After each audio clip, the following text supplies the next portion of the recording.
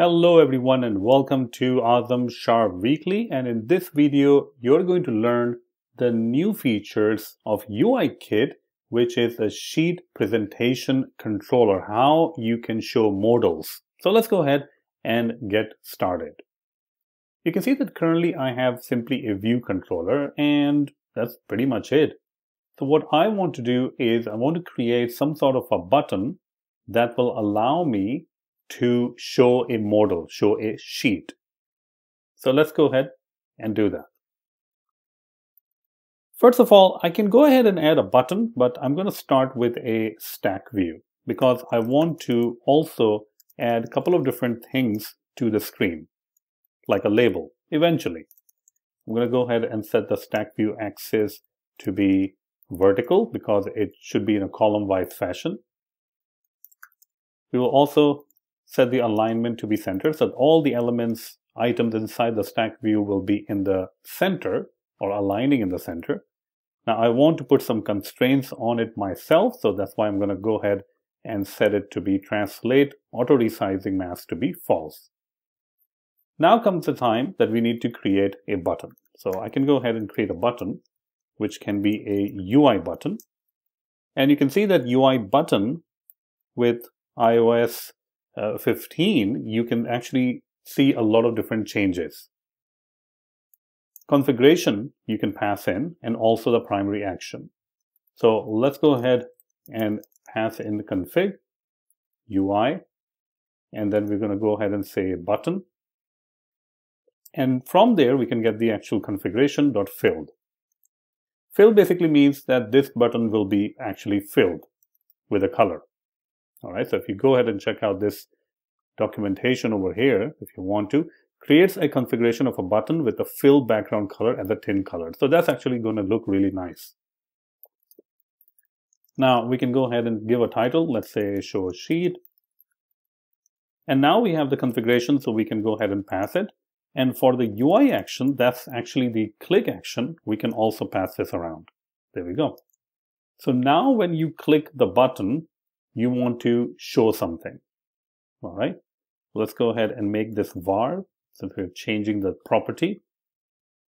The next thing we want to do is we want to make sure that this button is available and visible on the screen. Let's make sure that this action, we're just ignoring that part because we don't really care about the actual argument of theirs. All right, so let's go ahead and build it. Okay, so we haven't really used the button yet. I'm going to go ahead and create a stack view dot add arrange subview and I'm going to go ahead and add the button. And finally, I'm going to go ahead and add the actual stack view to my view. Perfect. We still need to add a couple of different items to the stack view, basically the constraints. So I'm going to put the center x, center y constraint, the width constraint, and the height constraint. Uh, you can play around with that. I mean, if you want to add different constraints, you can definitely do that. Right now, the only thing we're trying to do is to add a button on the screen. All right, so let's go ahead and run this. And you can definitely see that the button is appearing, but the actual height of the button, it looks very weird, right? So we definitely need to make sure that we are fixing that issue. All right. So let's go ahead and make sure that we are fixing that issue. So first of all, center Y anchor, we are putting it into something different, meaning we are adding 2 minus 200 to it. So let's remove that part. Still, the button is too big. And the reason the button is too big is because we have given a height anchor. So let's go ahead and remove that also. And it shows up nicely. All right. Okay. The next thing we want to add is a label. All right. And we will make use of the label later on, but I do want to create a label and add a label. So for label, I'm going to create a lazy property. And the lazy property is simply going to display hello world. This is just going to be the label. And now we can go ahead and add the label. So making sure that I'm adding the label before the button so it appears before the button. Let's go ahead and run it and you can see hello world. Okay, so that looks fine. and it is working out to be okay. Now, when we click the show sheet button, what we want to do is we want to show a modal or a sheet. I'm going to go ahead and create a new view controller because in the end, we want to show the items of the view controller. I'm just going to call it items table view controller. All right. Let's go ahead and create this class. So this is the view controller or the view associated with the view controller that we want to show inside our sheet. So let's go ahead and first make sure that we can even display this. So I'm just going to say view did load and then self dot view dot background color equals to UI color dot yellow. So whatever the color you want to assign, you can actually do that. The currently we, we're just trying to see can we show a modal? and inside the modal, can we show this items table view controller. So going back to our code, you can see that we have a button click over here and inside the button click, we can get the sheet presentation controller. The first thing I'm going to do is I'm going to go ahead and create an instance of the view controller. So this will be items table view controller equals to the items table view controller. All right. The next thing I want to do is when you actually click a button, I want to show the modal or show the sheet. That's basically the whole plan. What we're going to do is we're going to get access to the sheet. And where would we get the sheet? Well, we can get it from our view controller. So items table view controller dot is called sheet presentation controller. So all of these View controllers now contains a property which is sheet presentation controller that you can use to configure the sheet. All right. Now, since items table view controller is actually declared, you can see as a property, and I'm currently inside a closure, I can go ahead and do a self on it. Now, one of the things that we can do is after we get the sheet is to perform uh, detents, meaning that you need to tell that you want to show the sheet half or full. So this means medium or large. Now we can go ahead and pass in the medium and large, which basically means that the sheet can be displayed in a half of the screen uh, uh, and then also full screen. All right. And that is pretty much it. Now the next thing that we want to do is we want to make sure that we are displaying the sheet. So after the button is clicked, we can go ahead and say self.present. And you can say that over here, let's go ahead and see, not over here, I guess. Uh, let's see where we are.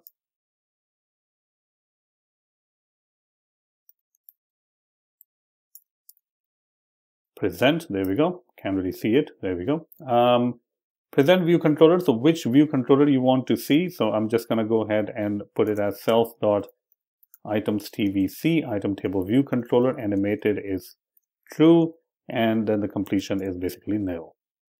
All right. Let's go ahead and run this. Okay. Now, if I press show sheet, you can see that our table view controller displays half screen. I can actually drag it and move it away. Or you can see I can drag or swipe up a little bit and then it kind of goes up also. So pretty cool, right? I mean, so easily we were able to create this kind of a half modal and the full modal. You can also see that when the modal actually modal actually displays or the sheet displays, the area over here is a little bit faded. It automatically does that. Now, if you want to also show the grabber, so we can actually enable that, sheet dot preferred grabber visible equals to true. This is even going to give you a certain area right over here. You can see the grabber and that can be used to grab and minimize it. Pretty cool right? So easy to do. Very nice.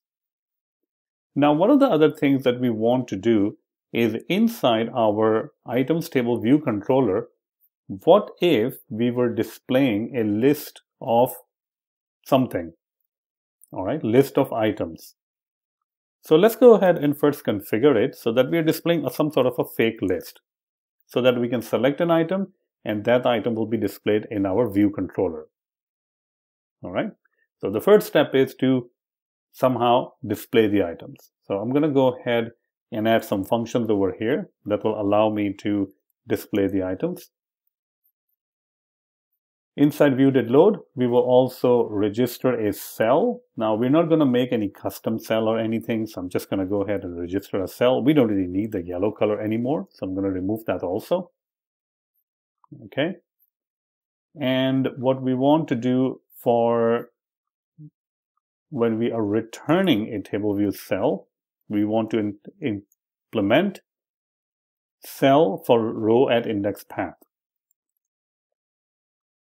Okay, so hopefully when this runs, it's going to give us a list of 20 elements, uh, which is simply saying item 1, item 2, item 3, and so on. All right, let's go ahead and run this. And if I say show sheet, you can see the items are there. Now, one of the things which is kind of annoying is that if I'm trying to scroll the items, because that's what I'm trying to do, I'm showing a modal or a sheet, and in this sheet, I have these items. But if my sheet is halfway, like this, I can't really scroll the items itself because it kind of swipes up and the sheet goes up. So if I'm trying to scroll, it doesn't really allow me to do that. So how can we make sure that it is allowed for us and we can prevent scrolling when the sheet is expanded? It's actually just one property. So if I go to the view controller, I can simply set the property preferred scrolling expands when scroll to edge to be false because by default it is true. So now what's going to happen is that it is going to allow me to simply scroll through the items even if it's in the half mode. But I can always go ahead and drag this and now I can scroll from the top. Right? The other thing that we want to do is if we run the application, you can definitely see that we have some items. So what if I select some item and I want to show the result over here? Item 4. Let's go ahead and see how we can do that.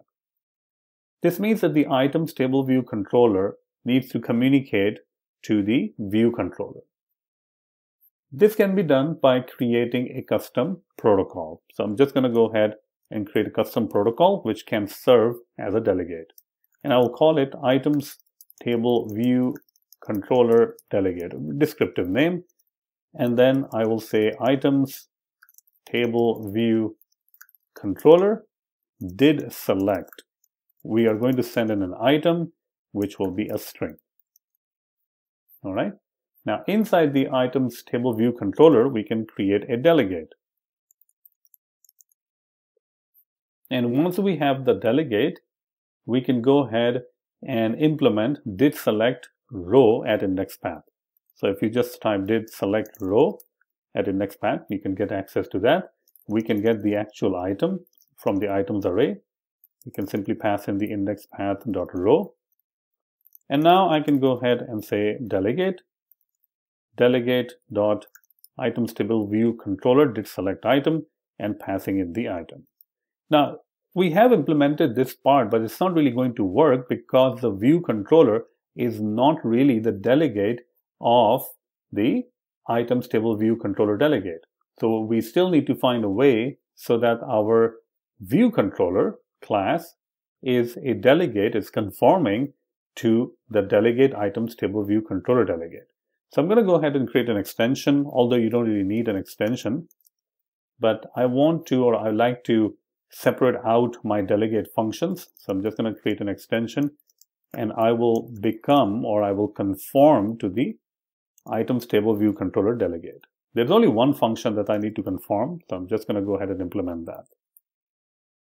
And we also need to make sure that self is the delegate because right now you can see that nobody has set up the delegate. So basically there's no link between the view controller and the items table view controller. So we want to find a good place to set this up. And one of those places can be when you are actually clicking the button. So this is where we can set up the delegate.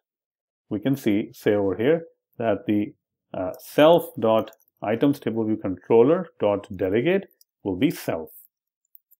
And this would be okay because self is a view controller and view controller is conforming to the delegate.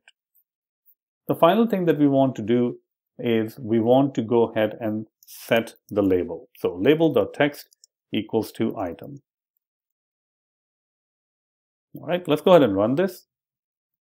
I'm going to show the sheet. I'm going to select one, two, and you can see that it is actually selecting obviously our items that we have over here, which is number four and all that stuff. It's uh, it's not like we need to basically set it up correctly so that we can at least see it. All right, so let's go ahead and try to change some of these with anchors or center Y anchors to see if we can adjust it. Okay, so now we have moved a little bit on the top. And now if I select an item, you can see I'm selecting an item and I can actually see it. What about if I select the full screen? Hmm, well, I can't really see the, which item I'm selecting. I mean, obviously I can see it over here, but I can't really see the actual label because this is covering it. So how can we fix that problem? Well, one of those things you can do is inside your did select or did select save for the items table view controller, we can actually change the selected detent identifier. All right, so let's go ahead and do that. First of all, we're going to get access to the sheet, which will be the items table view controller dot sheet presentation controller.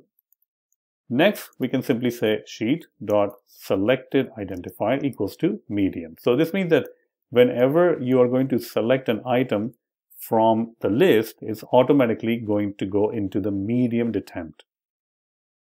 So this one works because we are already in the medium detent and we can see 3 and all that stuff. But what about if I'm on the full screen? Now, if I select 12, hmm, it actually did move to the medium detent, but we didn't really see any animation. And to add animation is actually pretty simple. Simply call sheet.animate changes, and then inside that closure, you set the actual detent identifier. Now when I'm on the full screen, if I select this, you can see it's nicely slides down to show me the actual selection that I've done. Beautiful. The other thing that you want to do, if you're interested, is once we run the application and we are in the medium detent, you can see the medium modal covering the half screen, you can see that it kind of fades in this thing, the top part, the view. If you want to not fade in at a particular detent, you can also set that up. So you can say over here that the largest undimmed detent identifier is medium. This means that when you are in a medium detent, we will not fade anything, as you can see. Thank you so much, and I really hope that you have enjoyed this video. Hello everyone, and this video is brought to you by my brand new course, Programming macOS Application with SwiftUI. You can see that this course is a very, very practical course. It's going to take you into creating many different applications. You can see the Reminders app with the MVVM design pattern, saving it in core data. Apart from the Reminders application, you will also learn how to create a complete maps application with the direction, the screenshots, and even overlays. And then finally, you're going to learn about how to build a stocks application where you will consume the stocks data as well as the news data for your application. You will also be able to go to a particular article in a custom created web view. So this is a great course and I really hope that you enjoy the course. You can check out the link in the description. Thank you.